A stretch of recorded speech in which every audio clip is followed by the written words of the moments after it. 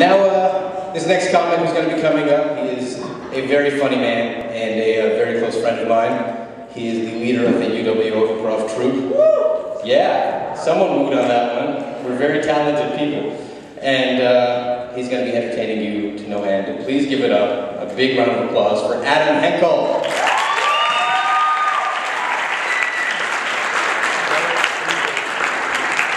Let's keep it going for older guys.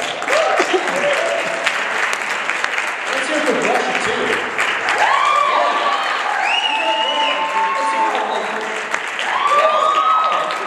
Because London is a very good-looking town, full of a lot of good-looking people. And then I realized the other day, well, maybe it's not really a good-looking town. By the way, do I still look like I'm telling stories at a campfire? It's a light bit better. How about now? Good? Awesome, cool. It was a dark and stormy day. Anyway, then I realized, maybe it's just a really smart town, and all the student, all the ugly people have enough common sense to stay indoors. Not sure. But this is how I think, you know, and the reason I think like this is because it's my study year. You know, it's time to buckle down and really focus on school. It sucks, but it's necessary, you know. And I think about things a little differently. For example, when I'm at the top of a really tall building, I think, wow, I must have so much potential energy right now. I can just roll down that hill or some stairs. It doesn't even matter. And then I think back to somebody who's in science there. Anyway, and I think back, and who here remembers the Ninja Turtles? Yeah, that's a everyone can enjoy. Anyway, but did you ever think maybe Michelangelo was a little bit slower than the other guys? Maybe they're about to go fight Shredder, and you have uh, Leonardo like, guys, we need to do this, like as a team. Michelangelo comes up, cowabunga, dudes! Uh, Mikey, that's, um, it's not really a word, but I, I guess we can say it. Good job, champ. And then when they come back from fighting with Shredder, maybe Raphael says, all right, guys, let's go get some food, like some berries, or some bugs, or some fish, you know, because we're turtles. Or we could get pizza. Cowabunga. Ah, Mikey, Mikey. Um, well, we're turtles, so we can't really digest carbohydrates, but uh, I guess we can give it a try. Good job, champ. And I see flaws in certain things. Like I'm gonna bring things back a little bit now. You guys remember the movie The Sixth Sense? Yeah? I see dead people. Sight is one of the senses we already have. It's one of the five. How's that for a twist? Now, who here donates blood? For volunteering there. But the phrase, though, what do they say, blood? It's in you to give. It's in you to give. Fun fact. It's actually a you to transport oxygen. Just learn that one, yeah? And in your study here, you learn about different places too, you know? Like I learned about Transylvania, and they had a huge bear problem, not just vampires, but bears too. And they actually had to hire a bear warden to solve this problem. And he was recorded on record saying, bear population grow at 500 bear a year, but we kill 150 bear a year, therefore no bear problem. Where did these guys learn to do math? That's a 350 bear deficit. And this is a problem too. People are getting attacked.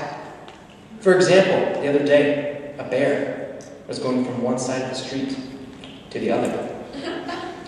Okay, thank you.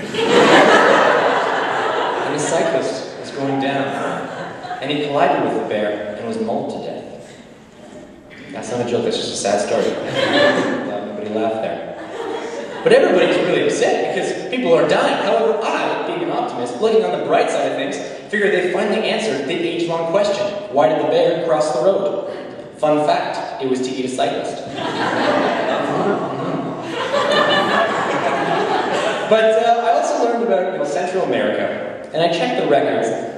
You know the last thing that Central America gave to the scientific community? Killer bees. Yeah, I know. Now don't get me wrong, their intentions were good, all right? They wanted to create a bee that could work anywhere and work really hard. But instead, they made one that was just really pissed off, you know? Now, I would give anything to be there during the conversation when the lab tech had to tell his boss what happened. I think it goes something like this. Hey man. You're not going to believe what happened. How do I see this? Remember that video made the likes to sting people? Okay, okay, you know how I like to take naps with the window open? Go. But don't get me wrong though, I do love the Spanish community. I'm actually taking Spanish in school. I'm trilingual, which is French for very and Spanish for three, so we're ways. But because it's a language course, nobody really pays attention. You know? And when we act out in class, this teacher stops and he points and he says, Hey, don't act like children! and yet we have the same silence. Because the message kind of gets across, but there's something lost in translation there, right? So we say, you know, that's, that's not really right. Hey, let's listen. He says, well, you must tell me what to say, because I'm learning too. And I realized, I'm a scientist. Like to experiment. I can change the way this man speaks English. So I told him the correct thing to say. And the next time we acted out in class, he stopped and he pointed and he says, Hey, my hips don't lie. and that's how we knew he meant business. but uh, speaking of language, and by the way, that's a pun for those of you who are playing along at home. Um, anybody here who finds French language attractive? Okay, some people. I dated a girl once who also thought it was kind of attractive when I spoke to her in French. However, she thought it was equally attractive to speak to me in her native tongue of Polish. It was not. Bonjour, ma belle. Tes yeux, c'est comme les étoiles dans un ciel noir. Pierogi!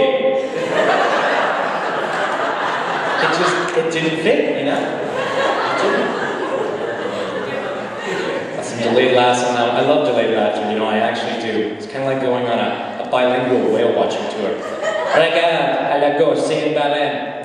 Look to your left, that is a... Never mind. you missed it.